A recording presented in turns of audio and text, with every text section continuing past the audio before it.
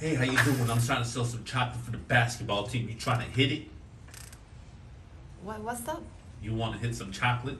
I don't want hit you. Not hit me, hit this chocolate bar. I don't want hit the chocolate ball. It's just a dollar fifty. I could give you five for ten. Chocolate for the basketball team. Get, get, get slow down. First of all, my English unlimited. Can you talk slow down? You don't talk and eat your thunder. I'm not trying to eat any thunder, ma'am. I'm just trying to sell you some chocolate so we can get jerseys for the basketball team. You- I'm swear I hate the chocolate and ball. What you want the ball and the chocolate meet together? Man, we're just trying to play basketball, you know, with the same color jerseys. I understand kids. Just I know the ball and the chocolate together. What you want I do for you? I got doodle boodles. I got bengaline chin tu punchin gan chu lakas. Thanks. Huh? Huh? Oh, Huh?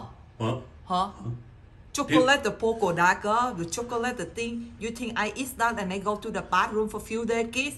Are you buying it or not, ma'am? I'm tired of jumping around for you. Ma'am, Usually I will lock the door right away. Just you the kid, I don't do that. Because I want to tell you. Kids listening to me very be careful.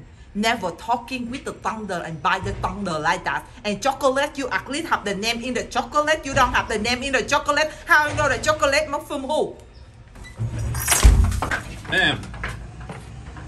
Hello?